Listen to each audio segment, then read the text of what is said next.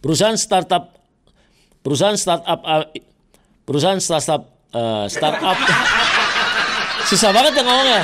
Perusahaan startup. Nah, itu yang benar startup. Tadi gue bacanya apa startup ya. Ya gitulah, Bro. Gue ulangi lagi nih. Udah, udah jangan ketawa lagi ya. Menciptakan material baru yang positif iklim untuk yang iklim positif gimana sih? Yang menciptakan iklim positif. Aduh, salah tulis. Aduh, copy paste aja masih salah. Jadi intinya, intinya, intinya aja Mas Bro ya, intinya ya. Material plastik yang plastik plastik yang? Wah, jatuh.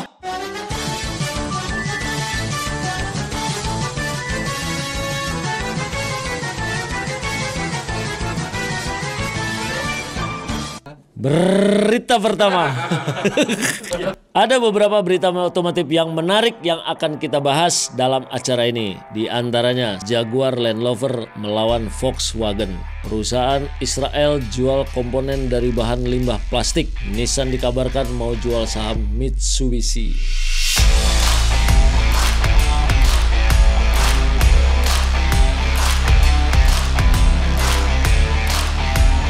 Assalamualaikum warahmatullahi wabarakatuh. Selamat pagi, siang, sore, malam teman-teman semua. Selamat datang di acara Baber Show.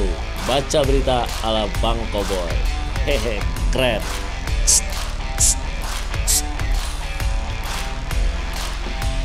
Oke mas bro, berita pertama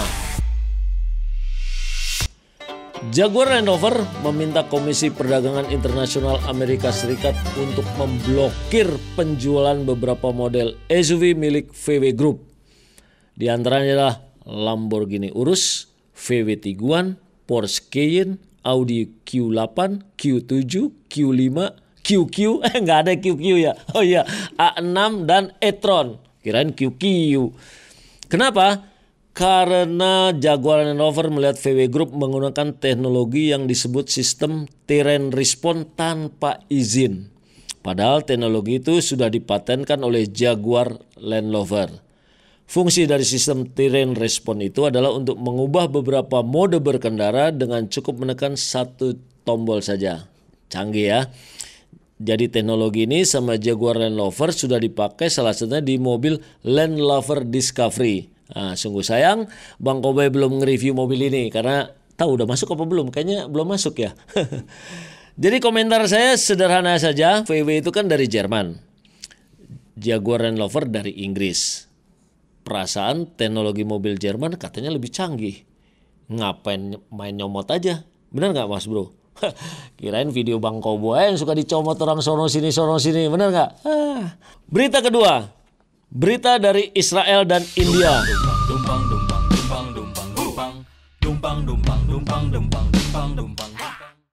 Perusahaan startup Israel, nah udah bener ya, UBK Material bekerja sama dengan perusahaan pembuat komponen otomotif berbasis di India, Motherson Group.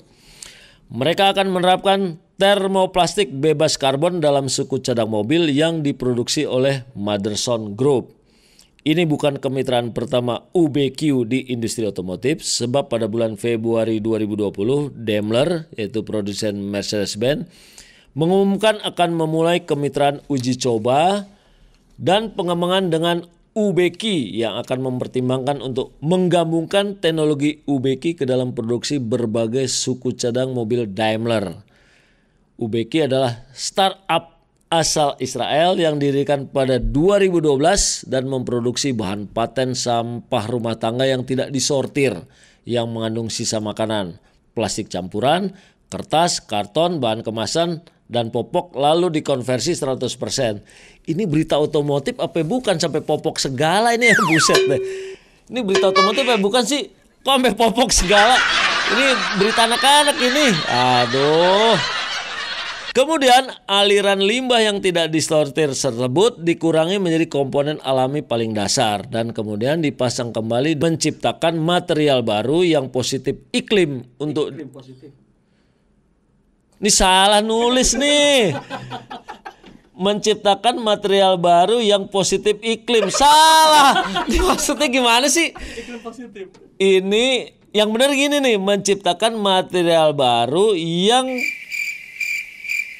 yang iklim positif gimana sih? Yang menciptakan iklim positif. Aduh, salah tulis. Aduh, copy paste aja masih salah. Ngingu, ngingu. Aduh, ini berat Mas Bro, ini berita otomotif apa ini?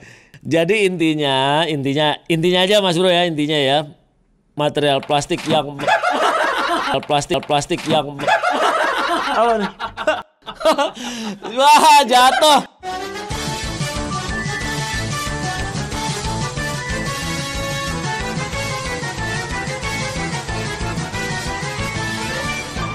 Oke Mas Bro, aduh berat sekali ya berita barusan. Ini yang bikin beritanya gimana sih nih? Besok-besok nyari berita yang gampang-gampang aja Mas Bro. Jangan yang berat-berat kayak gini. Ini aja gua kagak ngerti ini. Apalagi lu kali, lu jangan main kopas-kopas aja bros. Jadi intinya material plastik yang merupakan komponen kendaraan itu sama si startup itu tadi UBK tadi itu mau dibikin dari limbah plastik dari sampah istilahnya jadi sampah diolah menjadi sebuah komponen kendaraan. Nah itu bagus ya. Bagus sih sebenarnya, cuman ya kalau bisa perusahaan Indonesia bikin dong begitu kan kita punya pabrik sampah terbesar di dunia tuh di Pulau Gebang ya enggak sampai ngalahin Gunung Jayawijaya tuh tingginya tuh. Nah mungkin dari situ ada yang punya ide pikiran kita bikin limbah untuk menjadi komponen kendaraan. Nah gitu Mas Bro daripada keduluan Israel. Lanjut berita selanjutnya. Nah ini Nah, berita selanjutnya kita nyebrang ke Eropa nih Mas Bro nih dari Israel ke Eropa. Ya ini tentang Nissan dan Mitsubishi. Dumpang dumpang dumpang dumpang dumpang dumpang dumpang dumpang dumpang dumpang dumpang dumpang dumpang Jadi dua tahun setelah penangkapan Carlos Ghosn itu presiden direkturnya aliansi Nissan Mitsubishi atas dugaan pelanggaran keuangan, Nissan dikabarkan sedang melakukan diskusi insentif. Intensif. Nissan dikabarkan sedang melakukan diskusi intensif wah untuk memperkuat fundamental perusahaan. Ini dikutip dari Bloomberg. Nissan dikabarkan sedang menjajaki cara untuk menjual sebagian atau seluruh 34% sahamnya di Mitsubishi Motors. Waduh, Nissan lagi butuh banyak duit nih Mas Bro. Keprihatinan meningkat di internal Nissan bahwa perusahaan akan membutuhkan waktu lebih lama untuk pulih dari krisis yang disebabkan pandemi. Kata sumber berita ini yang tidak boleh disebutkan identitasnya. Melepas kepemilikan saham di Mitsubishi mungkin dianggap Nissan sebagai langkah pertama dalam tinjauan yang lebih luas dari aliansi tiga arah yang juga mencakup Renault kata mereka. Jadi ini ada tiga aliansi kita ketahui ya antara Nissan, Mitsubishi dan Renault. Tapi kemudian berita itu dibantah. Nissan katanya sama sekali tidak. Ini kenapa jatuh mulu sih? Aduh. Tapi kemudian berita itu dibantah oleh Nissan. Nissan sama sekali tidak ada dalam pembicaraan untuk menjual sahamnya di Mitsubishi, kata Chief Operating Officer Aswani Gupta dalam sebuah wawancara di telekonferensi Reuters Automotive Summit. Bahkan Renault menolak untuk berkomentar. Jadi kalau komentar dari Bang Koboy adalah ya ini gimana ya Nissan ini ya? Udah kawin bertiga. Sekarang kan dulu aliansinya kan Renault sama Nissan tambah Mitsubishi. Nah ali, namanya aliansi itu kan pasti untuk memperkuat masing-masing brand memperkuat pasar memperkuat volume penjualan dan sebagainya. Nah ini kayaknya Nissan yang sedang lagi terpuruk nih di dunia termasuk di Indonesia ya. Jadi ya kita ingat Datsun Datsun masuk di Indonesia cuman berapa tahun umurnya disuntik mati. Nissan gimana nih? Kira-kira disuntik mati nggak? Apa disuntikin aja rapid rapid test dulu? Nah, terbaru sehat lagi gitu Mas Bro. Oke, berita terakhir tentang mobil listrik. Wah, ini nih banyak banget berita mobil listrik ya. dumpang dumpang dumpang dumpang dumpang dumpang dumpang dumpang dumpang dumpang dumpang dumpang dumpang Banyak produsen menarik kembali atau merecall mobil listriknya di pasaran dengan isu rawan kebakaran. Wah, hati-hati nih Mas Bro.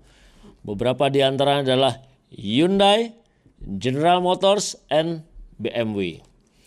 Diambil dari berbagai sumber, BMW misalnya menarik 10 model hybrid plug-in untuk merek BMW dan Mini di Amerika Serikat.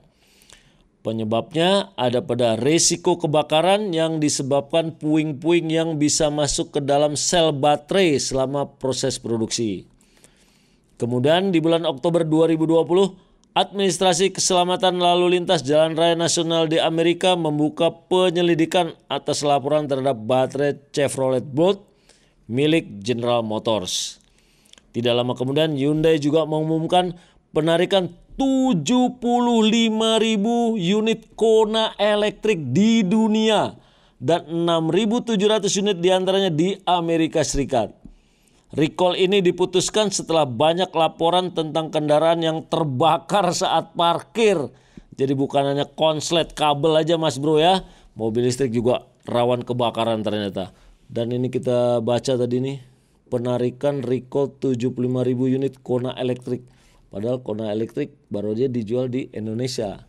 Udah yang beli belum? Udah yang beli belum? Ya kalau soal berita ini Bang Koboy komentarnya Duh gimana ya? Kalau tujuannya lebih aman, lebih bagus, apa menciptakan udara segar, mengurangi polusi gas buang, eh mengurangi polusi gas buang, ya itu mestinya larinya ke mobil listrik. Kalau pada ketawa-ketawa sih, mengurangi polusi bukan mengurangi polisi, jangan. Kalau mengurangi polisi ntar lu kagak pakai helm lo lewat jalan. Tapi tapi itu beneran memang memang rawan kebakar ya karena ini dari uh, Badan Administrasi Keselamatan Lalu Lintas yang menginspeksinya langsung. Jadi kalau saya harus komen gimana mobil listrik ya mungkin itu salah satu pertanyaan kita ya. Kalau orang Indonesia kalau beli mobil gampang pertanyaan termasuk mobil listrik.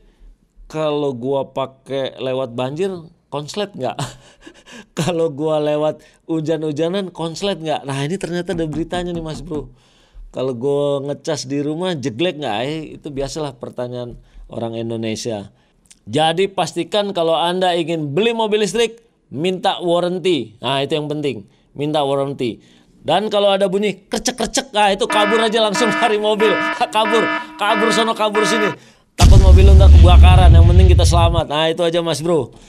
Oke sekian mas bro Baberso Baca berita ala Bang Koboy Kita ketemu lagi minggu depan Dengan berita-berita menarik Masih soal otomotif Oke mas bro Wassalamualaikum warahmatullahi wabarakatuh Semprot dulu Eh salah